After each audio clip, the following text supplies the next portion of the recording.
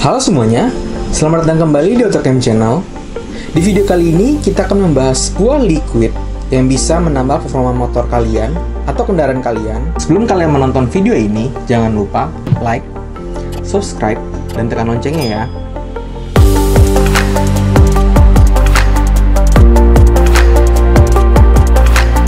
Oke, selanjutnya di depan kita sudah ada petrol injector dan diesel common rail.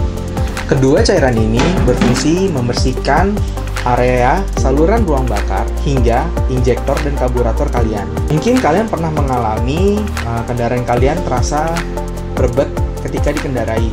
Itu disebabkan adanya kotoran di area saluran ruang bakar atau adanya air yang tercampur pada bahan bakar kalian. Dengan menggunakan petrol injector dan diesel common rail, mampu membersihkan serta mengikat air sehingga air tersebut tercampur dalam bahan bakar kalian dan mudah terbakar pada saat masuk ke ruang pembakaran. Untuk cara pakainya sangat mudah.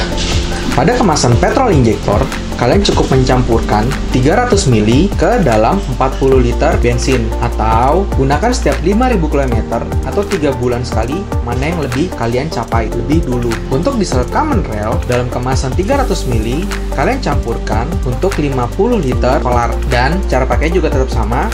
Setiap 5000 atau 3 bulan mana yang kalian capai lebih dulu, kalian bisa menuangkannya kembali. Serta untuk petrol injektor terdapat kemasan 50 ml yang dapat digunakan untuk 4 liter sampai 5 liter bensin.